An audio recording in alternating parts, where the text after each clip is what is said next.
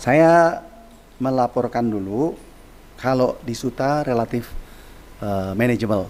Artinya kita bisa memastikan bahwa jumlahnya itu tertentu sesuai dengan kapasitas. Upaya meningkatkan uh, jumlah kapasitas itu bisa dilakukan dengan satu memperbanyak pesawat. Kalau memperbanyak pesawat itu dari awal kita sudah lakukan rem check sehingga uh, kapasitas atau jumlah yang bisa terbang itu banyak. Kemarin Dirjen sudah melakukan itu. Yang kedua, kita menambah jam operasi. Jadi jam operasi bandara yang tadinya katakanlah sampai jam 4 kita suruh sampai jam 8 yang tadinya sampai jam 12 kalau bisa 24 jam seperti Suta itu harus 24 jam kenapa?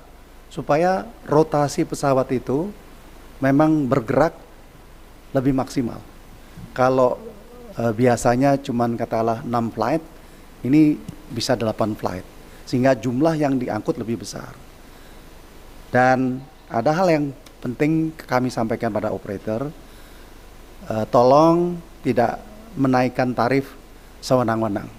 Kita tahu saudara kita butuh untuk mudik atau berlibur, uh, uh, operator supaya kooperatif jangan menaikkan satu tarif yang berlebihan.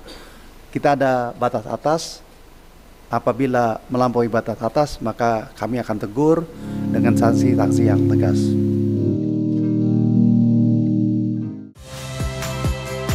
Saya Valentina Sitorus. Saksikan program-program Kompas TV melalui siaran digital, pay TV, dan media streaming lainnya. Kompas TV, independen, terpercaya.